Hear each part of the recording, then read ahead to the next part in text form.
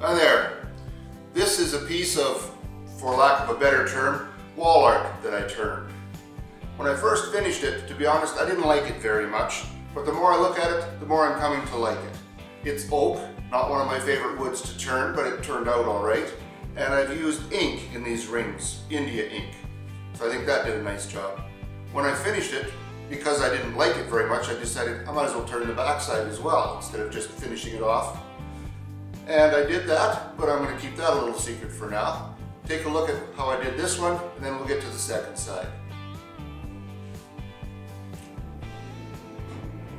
I have a blank of oak here, 7 eighths of an inch thick and 14 inches in diameter.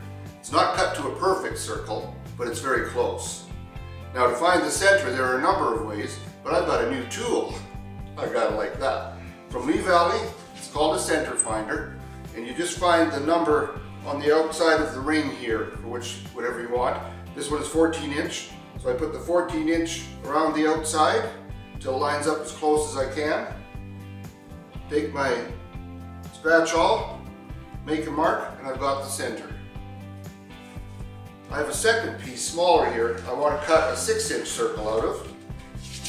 And I have a smaller center finder for it. So again, I just put it on here, line up the 6 inch circle until it's all within the wood. Take the scratch awl, make a mark, and I have the center. Now I can take my pencil on that 6 inch mark. There are some holes in this binder, go around with it until I've marked it.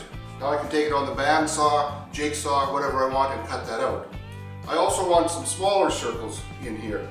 So here's one at one inch diameter. I'm not sure how many I'm going to use, so I'm going to put a few in here. This is inch and a half. There's two inch. Of course, the two inch puts me one inch off of center because that's the diameter. I don't think I'll go any further than that. I will put one at one half inch. Actually, that'll be too small. So anyway, I've got that marked. I'll cut that out now, and then I'll be back.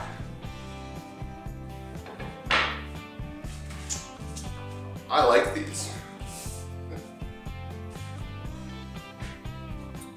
I have the six inch disc cut out now, and I used the circle sanding jig on my disc sander to make it nice and smooth and round.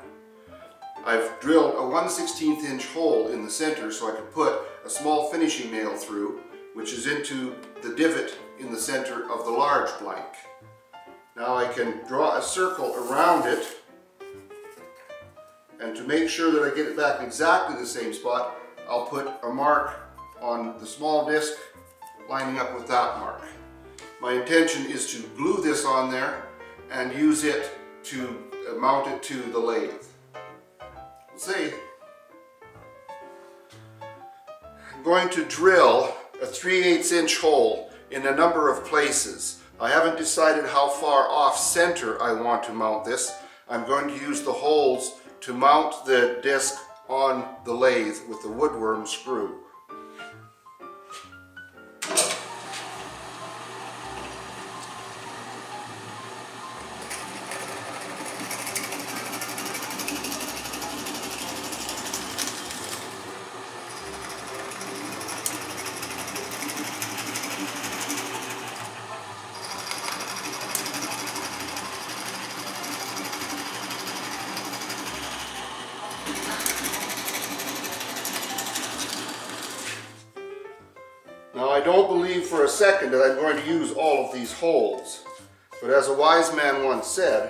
Better to have it and not need it than to need it and not have it. So it does give me options and I can decide what to use when I have it on the lathe. I'm going to glue this disc down now onto the blank. I'm using tight Titebond. Always had good luck with Titebond. Although to be honest, I've never really had any woodworking glue fail me yet.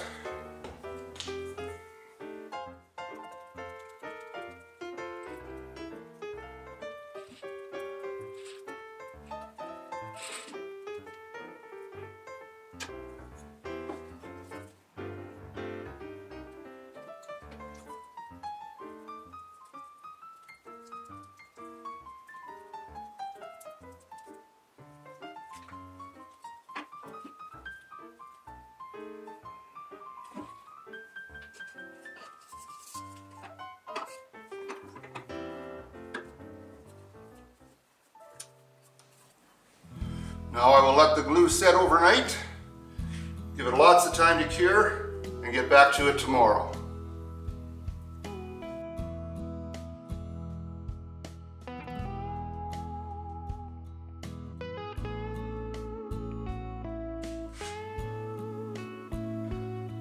I have it mounted now on the woodworm screw. My first step is going to be just to true up the edge and round it over a little bit. And I'm going to use my 3 8 inch bowl gouge for that.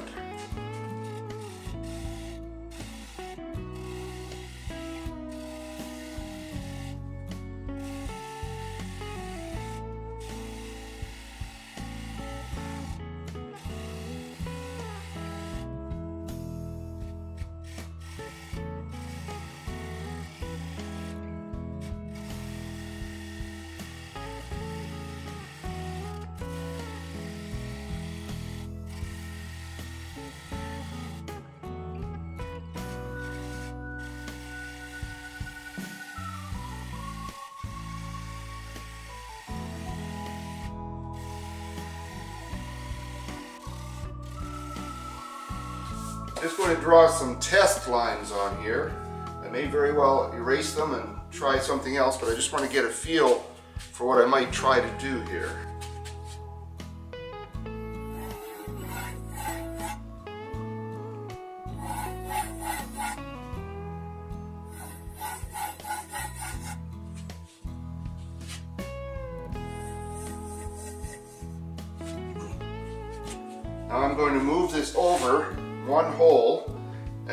Kind of job I can do between these lines offset.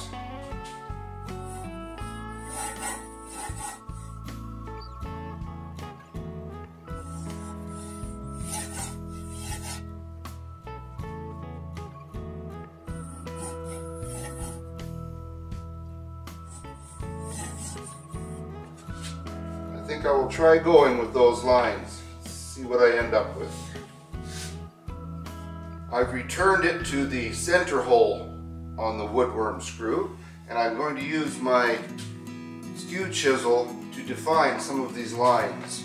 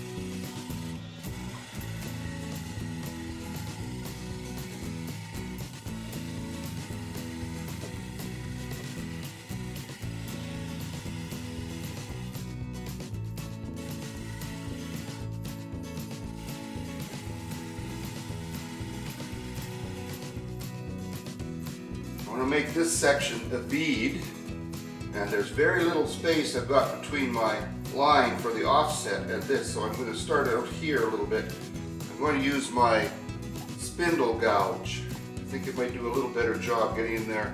It's a little slimmer.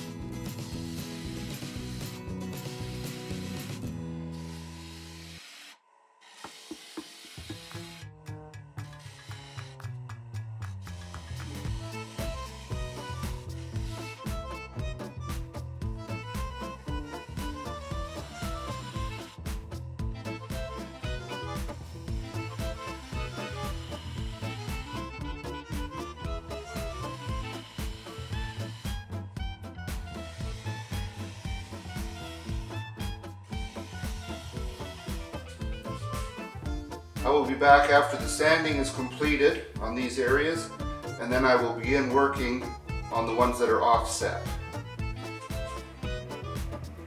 I've now sanded all the parts that are already turned and I'm going to move it over to the offset and get ready to work on these parts. To make narrow V-shaped grooves, I use the toe of the skew chisel, swinging the handle a little to the left and then plunging the toe into the wood, swinging the hand over to the right, moving the tip slightly to the right and then plunging it in at an angle again until I create a groove.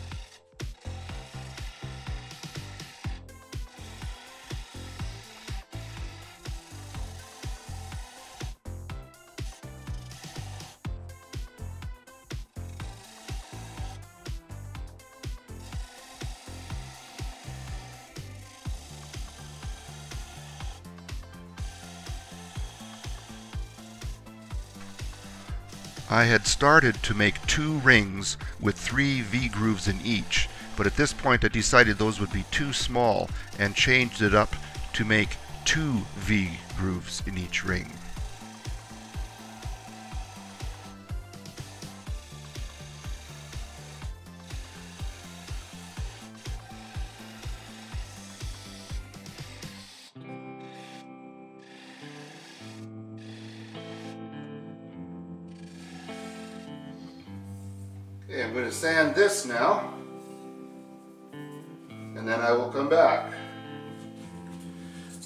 My first off-center turning. And of course, when you do something the first time, you're bound to learn things. One thing I'll point out here, in case you want to do one and haven't tried one before. When I sanded these parts here, after my first turning, I should have sanded everything. All I sanded was inside here, and this and the outside. But these parts that I did not sand, now when I'm doing the offset turning, I can't sand them with it spinning. So I have to sand by hand like this, going with the grain of course, and it's taking a lot more time than if I had simply sanded the entire board in the beginning. Just a little tip in case you decide to try this, it'll save you some time and energy. I'm going to seal this with a mixture of Zinsser Seal Coat mixed 50-50 with methyl hydrate. Its purpose, as the name would suggest, is to seal the wood. If I was smart, I would probably just coat this with Minwax Wipe-On Poly after this soaks in. Doesn't look too bad, I kind of like it the way it is. But apparently I'm not that smart because I'm going to try doing some coloring on it as well.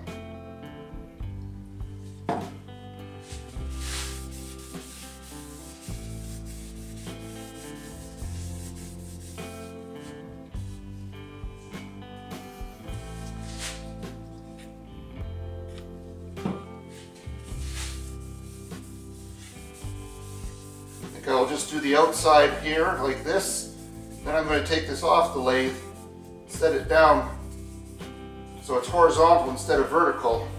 I might be able to do a better job of sealing it.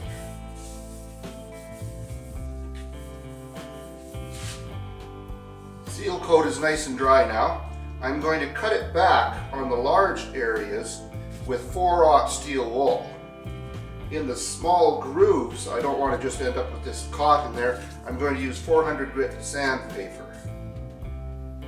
I'll clean the grooves that I made with the offset, then I will put it back on the center on the woodworm screw to clean up the rest of it. I'm quite happy with the way this has turned out, pun intended.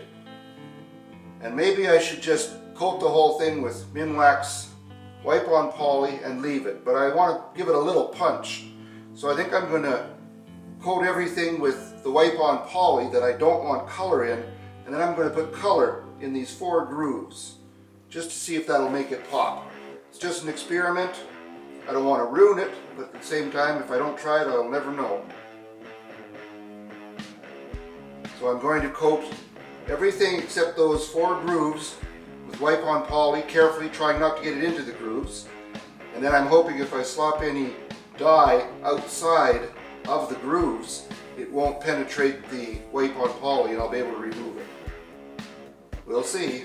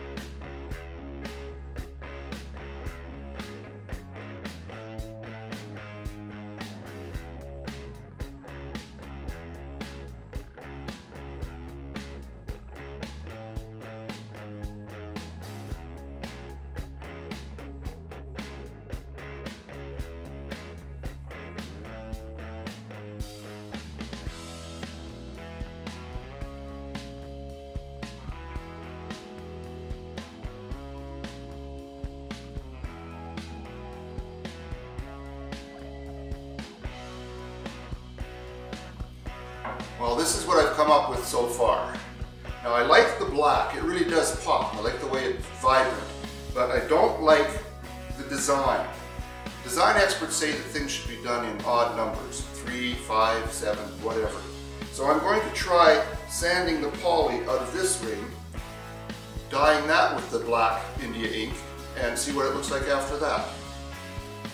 On with the experiment. Back on the lathe. Use sandpaper to sand out the poly that was in this groove.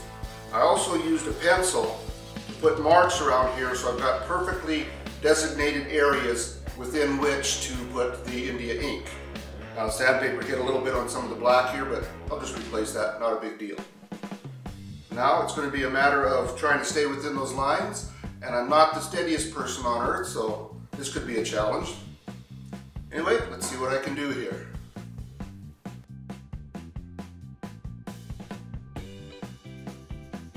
No, I did not apply the ink nearly this quickly. This is just a real fast look at a little bit of it.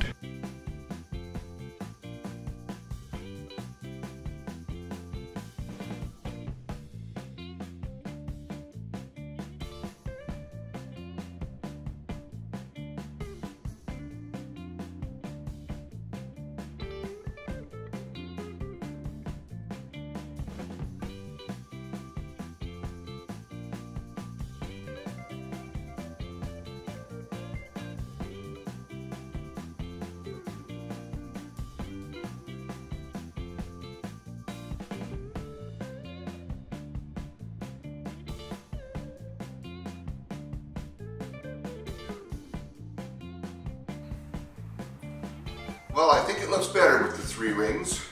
Not sure this is exactly an art piece, but hey, it's my first attempt and I'm happy with it so far.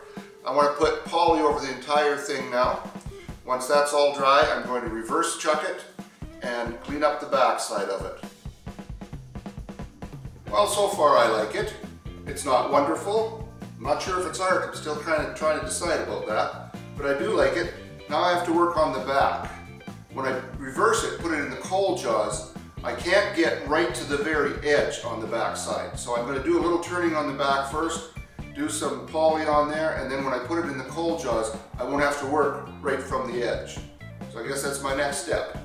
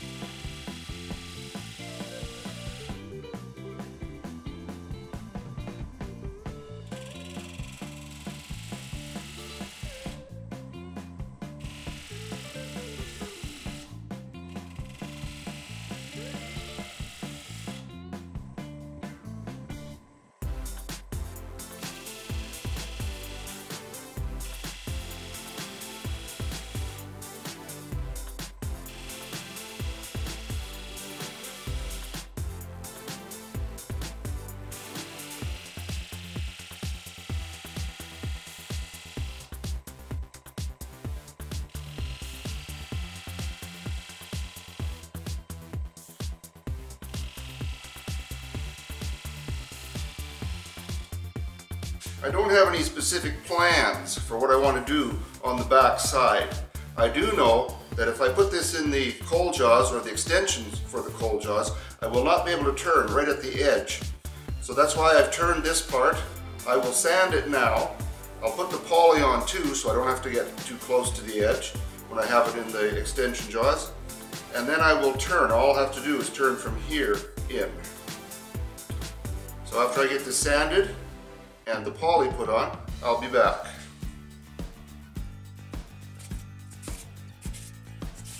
I'll be using extensions on my Cole jaws to reverse this. To protect the outside edge, I'm applying two layers of masking tape.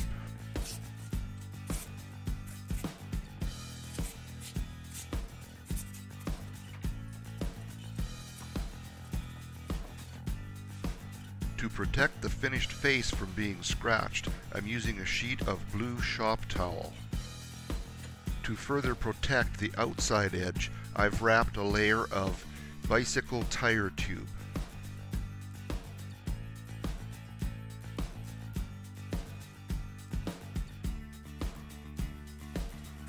First thing I'm going to do is remove this glue block that I used to apply the woodworm screw to. Then I'm going to take this back out so I can measure the thickness at the various places where I had turned. I want to make sure that I'm not going to go right through this thing. That might just ruin my day.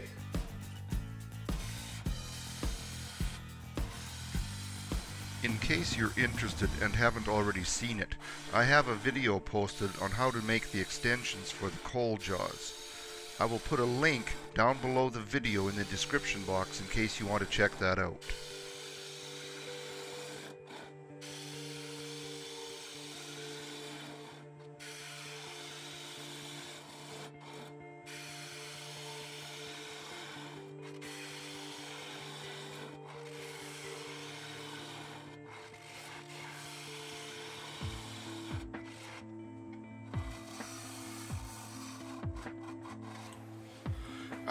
Measure the thickness of the wood in the areas that I have turned. I want to make sure I don't turn through from the other side, so I need some idea of just how thick this is. I won't be able to check as I'm turning. To do that, I'm going to measure from the outside to the area I'm interested in, in this case five and a half inches to the center of that hollow.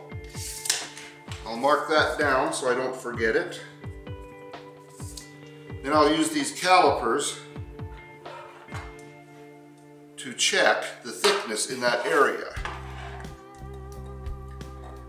Now it's above the wood, so as I lower this, just until it touches, that's where the thickness is. Now measuring between those two arms, one half inch, just a hair over one half inch. I can mark that down. I'll do the same in each of the other areas that I have turned. That'll give me a guide when I'm turning the other side. And I'll be back when I have finished that.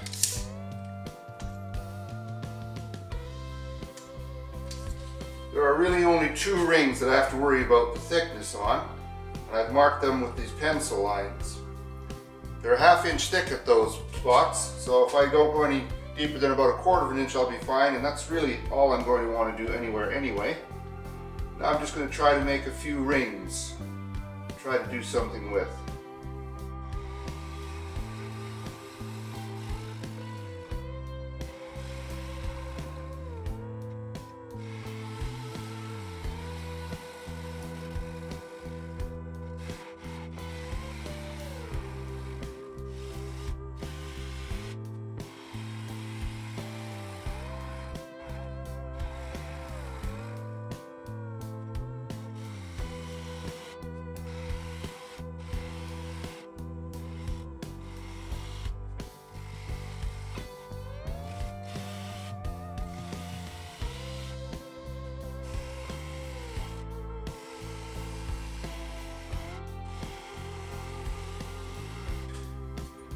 Check the depth of anything that I turn, I can simply put a straight edge across like this and then measure with another.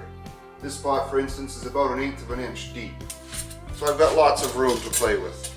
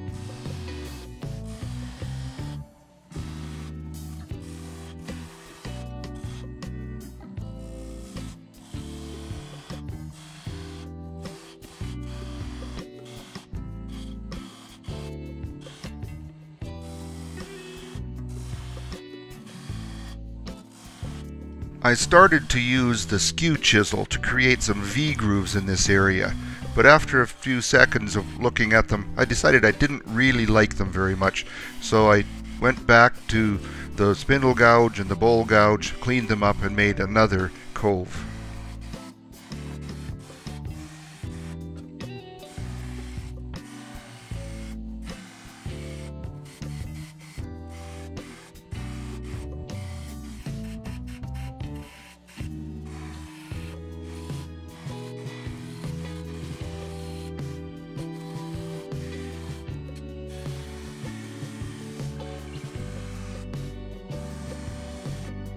I'm just going to sand all this up, see what it looks like after that, then I'll be back. I have it all sanded now. It's just a series of coves, these rings. I've sanded it to 400 grit, and now I'm going to apply Minwax Wipe-On Poly, a few coats, and then I'll come back after it's finished and show you the finished product.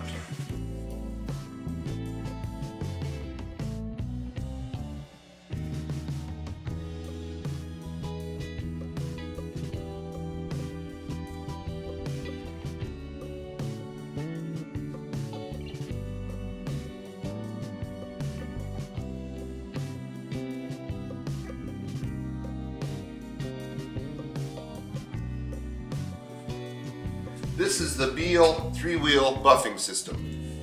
I'm going to use just the wax pad with Carnauba wax to put a little bit of a luster on this piece.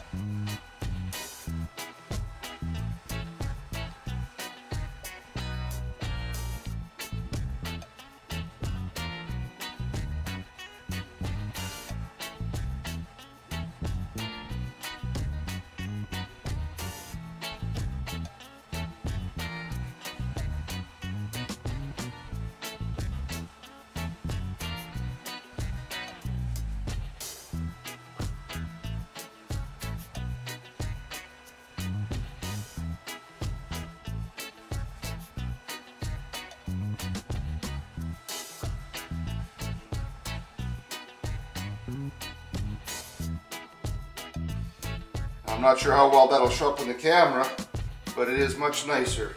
I quite like it. And with that, it's complete. Two-sided, and I'm going to refer to it as art, because I don't know what else to call it anyway. You can decide if you think it's art or not. Anyway, I enjoyed doing it. I hope you enjoyed watching it. Thanks for coming by. Have a great day in your shop, and remember, always be safe. Don't forget to subscribe. Have a great day. Thanks again.